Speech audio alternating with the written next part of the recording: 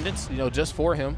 Um, he was signing mad autographs actually when I bumped into him earlier. Oh, yeah. And then I, what was funny, I was in my room taking a nap, and he was just like popped up randomly in my room. Like I took a nap, got off the shower, and it was just Hakaru, Cosmos, and Nairo just kicking And I was like, hey guys, uh, kind of just in my towel. You get an autograph? No.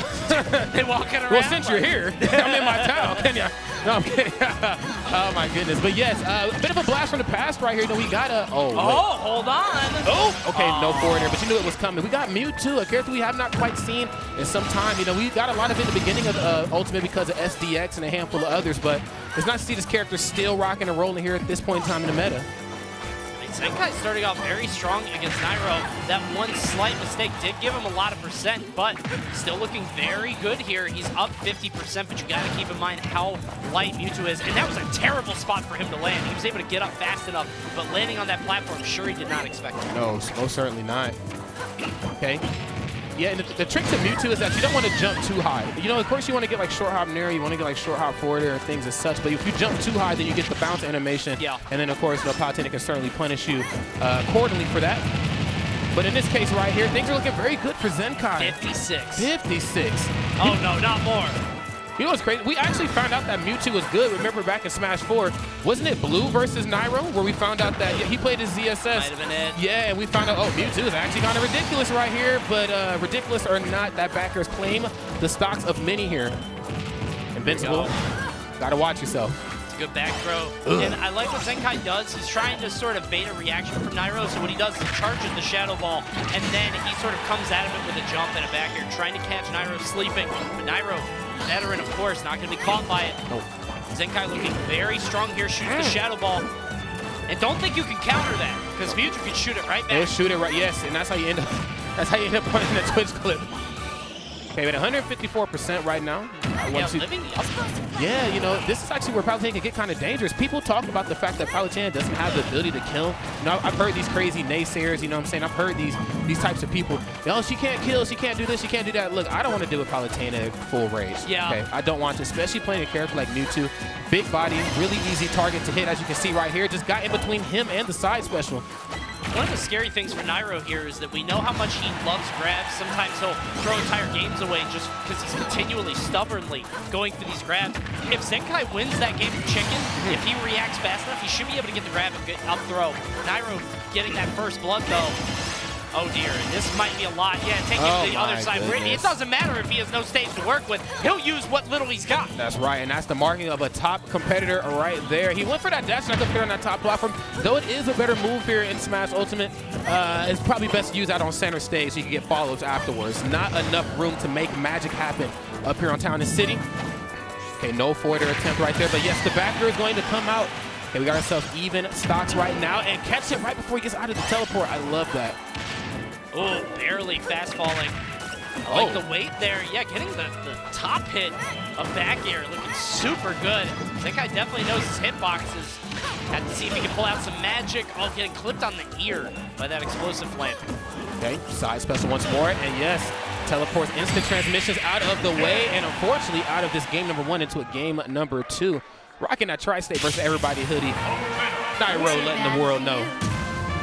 Zenkai very strong start, but leads to a poor performance there at the end. And part of me wonders if he did land that punish mm-hmm. when he was stuck there, he was on the platform. Uh, I, I wonder how much further he could have gone if he got like a forward air, you know? Because you remember the whole reason he lost like 60% early on Sure. was because Nairo mashed out of the sleep and mm-hmm. then started hitting him. So Zenkai looking very strong there. Maybe the stage will be able to give him a little bit more leeway. Mm-hmm. We'll see what the counter pick is. All right. I feel like a little bit more room wouldn't hurt him. You know, we've seen historically how uh, uncharged Shadow Ball and things like that can really open up windows of opportunity for Mewtwo, as well as obviously the new dash attack.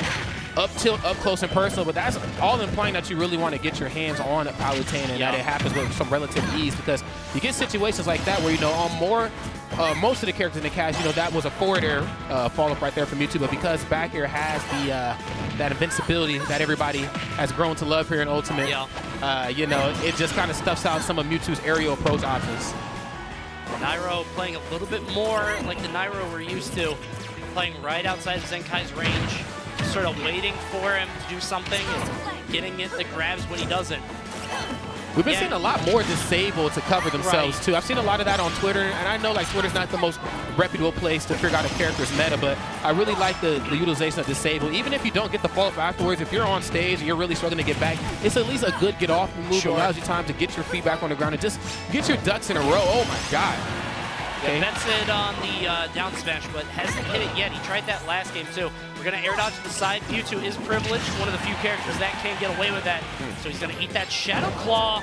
Oh, try to hit him with the one of those, but the Shadow Ball once more is going to close out, and half charge Shadow Ball as well too. Haven't quite seen it utilized for everything that is worth, but uh, looks like he's going to have to take some more time to charge it up once more here. Loses that stock.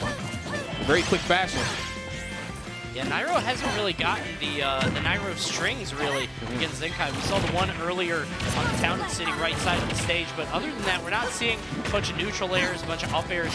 Just Mewtwo being so floaty and being so light, able to get out of that stuff. Yeah, I feel like also to add to that too, in order for him to get some of those strings, he has to get up close and personal. And Mewtwo, you know, despite some of those wonderful Mewtwo strings that we have grown to love as well, in air quotes, uh, you know, you need to, you know, get up close to, you know, make some of those strings happen. So obviously he doesn't mind playing the long game. Just want to see it utilized a little bit better right here. Once more, using the back through the ledge of stage, alleviating a little bit of pressure right here from Nar, But yes, that's going to be a back throw, and that's going to be super effective. And that's something that happens when, like, it'll happen and then you're like, oh yeah, you know, it shouldn't have happened. You know not to jump in on Palutena. You know not to attack her shield like that. But you got to make that mistake probably at least once. Oh, yeah. Tries to go for the down air, does not connect. But even still, Nairo losing nothing for it. Only a 17%. And this is just Nairo firing on all cylinders. Yeah, he's just starting to uh, slowly but surely unravel right here for Zenkai. You know, I'm loving this effort that he's putting up here. He's doing everything he's supposed to do at Mewtwo. But this is one of those rare cases where, you know, the matchup spread just, unfortunately, mathematically does not come out in his favor. So he's really going to have to dig deep right here. Yes, the parrying on the disable, only Nairo. Only Nairo. Yeah, I think he went a little bit too hard off stage for that. Nairo got stage, but didn't get too much out of it. Zenkai just really having trouble getting off of the ledge, getting back onto the stage. Eventually he does. Mm. Yes, and then the, uh, I believe that was a platform cancel right there. What's Back- the punish? Oh, You don't have time. Oh, and then the double spot dodge. Yeah, that's, again, good get off me tool like that back is once more through the ledge, but not enough to close it out. And unfortunately, your chance of catching Mewtwo has come to an end, man. Wild Mewtwo is famous.